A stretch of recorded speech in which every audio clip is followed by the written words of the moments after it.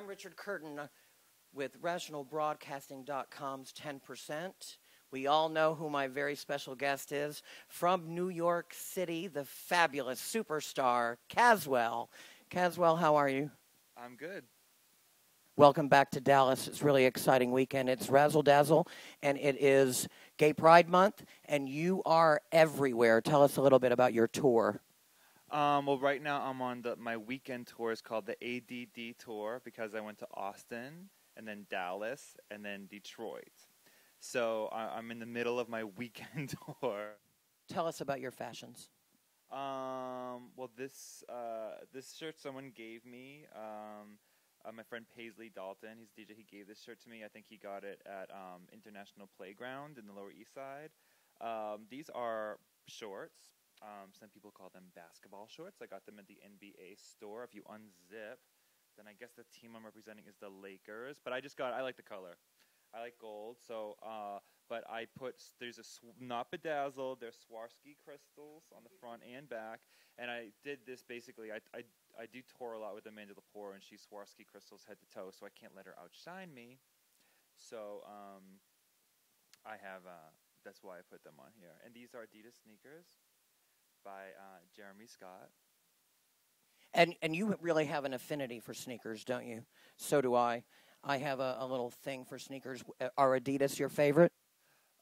Um, well, I'm gonna say they're my favorite because I work for Adidas right now and I DJ a lot of their parties and Y3. Actually, I really do like Adidas and I, I, I like Y3 and they're all the same company and I think that Y3 could possibly be like the new hip hop sneaker of the future. I I think they're molding into that. I really like Y3 sneakers most of the time.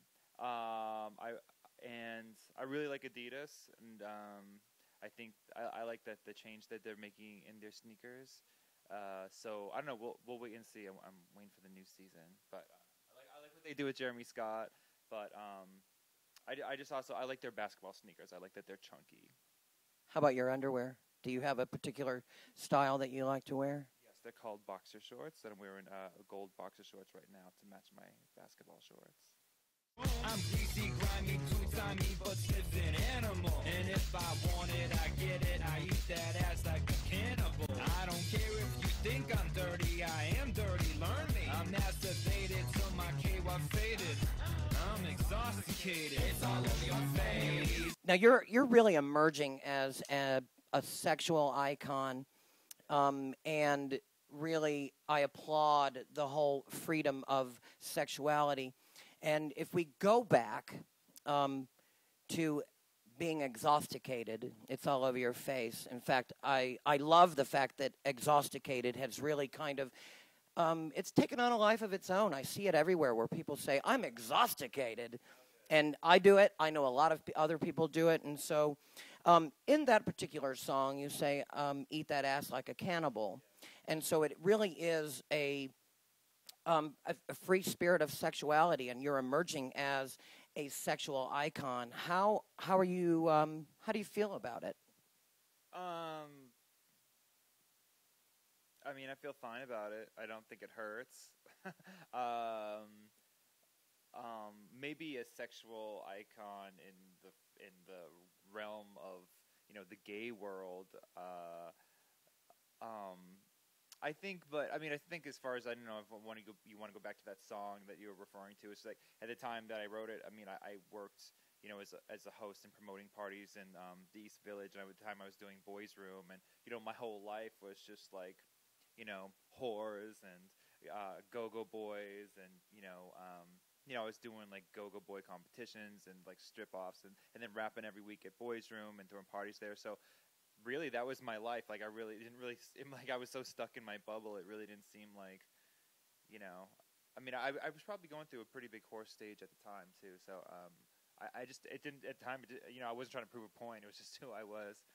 So you don't feel like um, a sexual activist? Um, I you mean you mean like a gay activist as far as being Well, I mean, I think for a while, especially in the gay community, I think that we had a guilt about being sexual and about being overtly sexual because of HIV, and there were so many people dying, and then there was the whole fear of getting HIV or spreading HIV, and so there was this toning back that that gay men aren't having sex anymore, and then um, Cazwell emerges, and it, it is free and it is in your face and it is I am having sex. I'm going to have sex. I'm going to enjoy it and I and I want you to enjoy it as well. So um, I, I that's kind of where I'm going is being a sexual activist. Um, I think that's a pretty good point. I, I think that, uh, for instance, uh, well, I don't think gay people ever stopped having sex and I also think that um, I think as far as the media didn't really like let anyone know that gay people were having sex or gay people. There was definitely a period of time that gay people weren't really in the media in general. Um, but you know, not compared to right now. You know, now's a pretty good time. But um, uh, you know, people refer to you know all over your face as like um, a gay sex song, but to me, it's probably one of the straightest songs I have, and I mean that just because I probably um, rap about gay sex with the same sense of entitlement that a straight guy raps about sex. So basically, I'm not trying to I'm not trying to prove that I'm any different. I'm basically just trying to prove that I'm the same. And I'm, but I'm not even trying to prove it. I mean, this is it's just you know what I mean. I, I guess my motto is, and I don't really think about it till I'm put on the spot. But my motto kind of is like, if I don't treat it like it's a problem, then what's the problem? You know. So I mean, I I think I'm entitled to you know uh, have sex and feel good about myself no matter what, just as much as straight people are. But so far, as far as the music industry, straight guys are the ones that you know seem to have the entitlement of like you know talking about having sex with girls and that they can do it because they're straight guys. And it even like you know even like you know women have been shunned away from doing that. Never mind gay guys. So for, I mean, I'm just going to talk about it like it's not a problem because for me, it's not a problem. Excellent. Well, it's not a problem for me either. So maybe we should join forces sometime.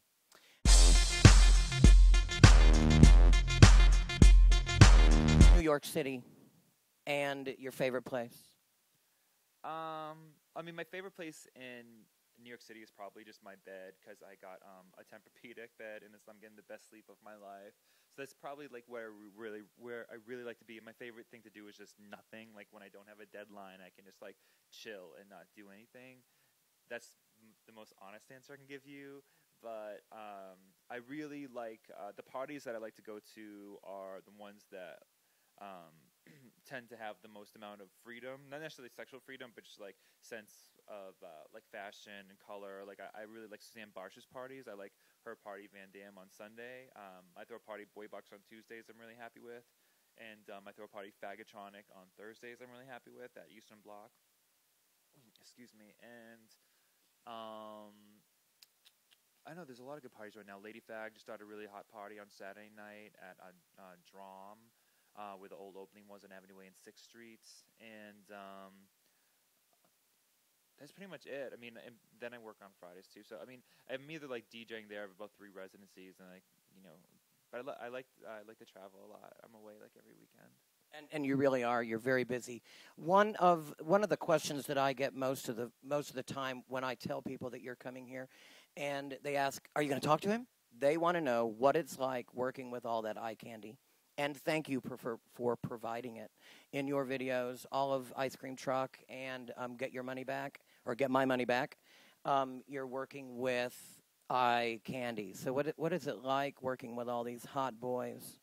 I mean, to me, it's just like a, a night at a club or a night at work. I mean, to, it, I didn't even really think about it before I did Ice Cream Truck. I was just trying to do a quick video on a Snicker bar budget. You know what I'm trying to say? So like I was just, and it's the oldest trick in the book. I mean, I work in clubs. You want to get people to stay. You want to get people's attention. You get Go-Go Boys. These are the Go-Go Boys that me and Marco knew and were friends with in the clubs. And I also wanted the song to be dedicated to like the hot Latino boys that hang out on my street in the East Village with their shirts off. You know, around the ice cream truck. So I, I, I wanted to have like a Latin feel to it. I, I made my, I got like um with makeup. I made my skin a little. I tried to make it a little darker. I wanted wanted to even be like, oh, like when you look at me, like what race are like? It didn't really work, but that was kind of like the vibe I went for. Like I really wanted to give to a New York uh, Latino feel. So that's you know, I'm I got what I wanted.